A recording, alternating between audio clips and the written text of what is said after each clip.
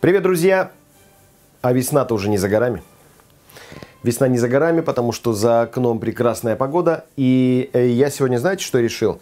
Не буду усложнять все процессы в нашей гастрономической и от того не такой простой и легкой жизни, а немножко упрощу. Давайте сегодня позапекаем картошку. Ну, просто запеченная картошка. Почему нет? У меня есть вот э, три одинаковые небольшие карто картофелины. Конечно, надо было бы, может быть, в два раза больше их брать, но я хочу заметить, как повар, что чем больше картошка, тем она дольше запекается. Поэтому, взяв небольшого размера, но тоже довольно крупные, но побольше штук, э, вы можете сделать прям порционно на 10 человек одним махом. Можно я напишу первый комментарий? Да. Почему их три? Почему 3-4? Ты сказал три. Я сказал 3. Сначала их нужно запечь целиком. Для простоты всех манипуляций делаем так.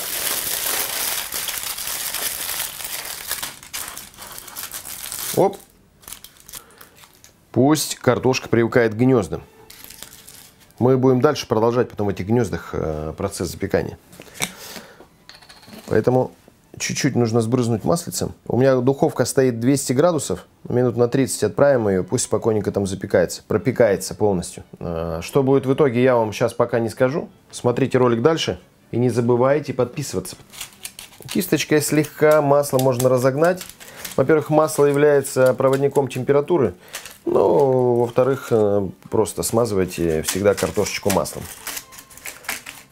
Она будет и немножко золотиться. Все, соль я не добавляю, просто отправляю в духовку. Все, 200 градусов, минут 30. Пусть она запекается. Честно признаюсь, картошка простояла немножко дольше. Я был занят, поэтому минут 40 она у меня где-то стояла. Судя по звуку, она полностью готова. Вот. И судя по цвету. Опа! Крышечку мы срезаем. Раз. А! Нужно взять ложечку такую, знаете, чтобы острый край у нее был. Вот у меня прям, мне кажется, кто-то их затачивал специально. И чашечку, в которую я буду отправлять все внутренности. Смотрите, крышечка нам не понадобится, поэтому, в принципе, я ее выскребу и пока не знаю, что буду делать. В общем, нужно раскрыть все картофелины, выскрести оттуда внутренности. Не все, а оставить тонкую стенку. Серединку вынуть, но чтобы стенка форму держала. Пока картошка остывает, можно добавить немножко зеленого лука. Э, Зеленый лук обязательно. Мне не нужно идеальное пюре, да? Мне нужно просто всего лишь его размять. Это хорошо, если будут какие-то, знаете, такие небольшие кусочки. Картофель очень у меня попался э, такой, знаете, крахмалистый. Вот смотрите. Немножко я оставил, да, толщину. Конечно, вы сейчас скажете, заморочка опять какая-то. Да, конечно, это заморочка.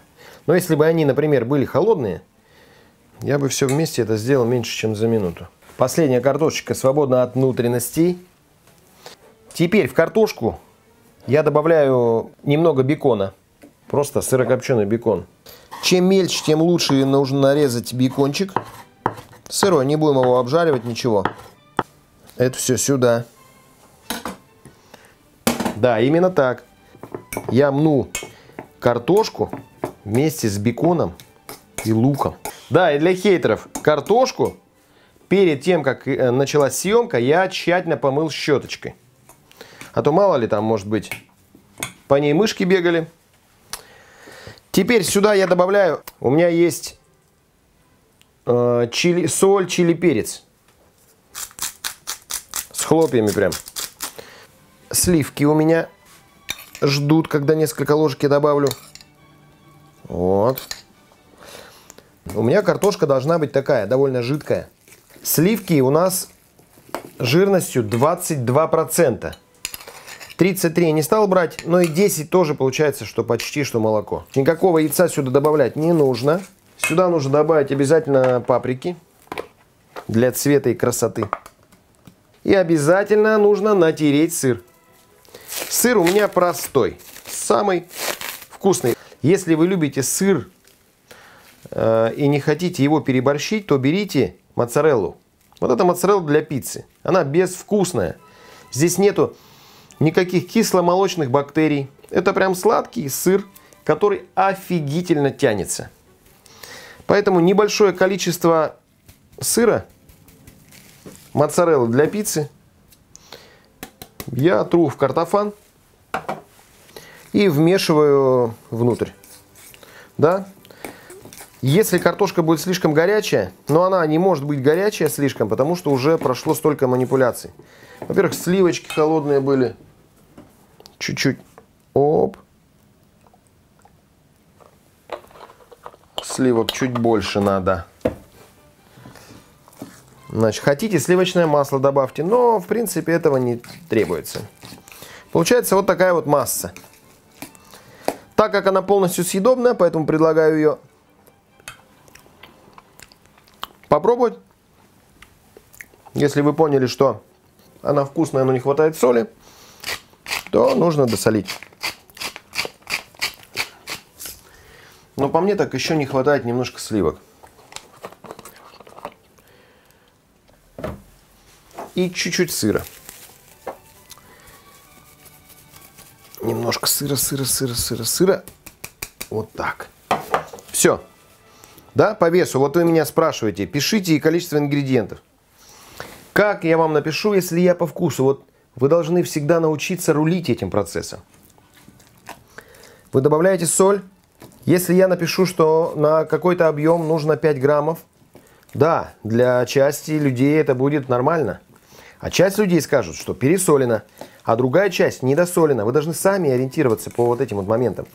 Я вам могу всего лишь показать, что картофельное пюре должно быть вот, знаете, как жидкий пластилин, что ли, или что, как вот назвать, как густая сметана. Да, еще очень важный момент. У меня ведь канал о том, как готовить, а не о том, что готовить. Поэтому я даю много теорий, рассказывая про вкус, про консистенцию, про форму, еще про что-то, для того, чтобы вас научить думать и уже опираясь на определенные знания, чтобы вы сами могли уже готовить для себя вкусную еду, чтобы вы понимали, где вкус. В общем, этот фарш отправляем обратно в картофан.